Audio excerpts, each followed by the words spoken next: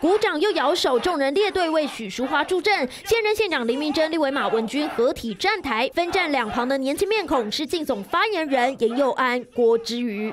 许淑华发言人严佑安遭对手蔡培慧阵营揭发，现职为南投社劳处埔里区财富大楼主任，是县府知心的约聘雇公务人员，违反行政中立。聘请公务员来担任自己的发言人，这是非常不可思议的。我们呼吁许淑华不要一再利用县府的资源滥用在选举上。我昨天是用自己的假来出席那个活动。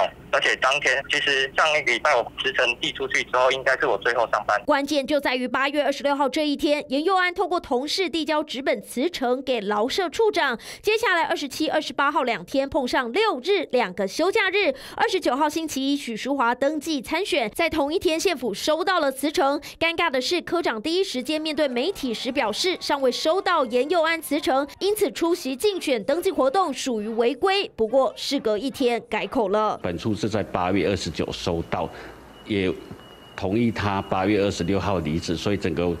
整个程序基本上辞职的手续基本上是完成的。严佑安二十五岁，台中人，国立暨南大学社工系毕业。他说为避免争议，三十号一整天都在清跑离职流程，加速作业。言下之意，虽已提离职，但离职手续却还没跑完。严佑安长期关注社会福利工作，加上形象清晰、口才辩捷，因此被许淑华赏识，延揽为靳总发言人之一。但第一天就面临选战攻防的震撼教育。三立新闻吴坤宇、杨静 S V 小组南。头报道。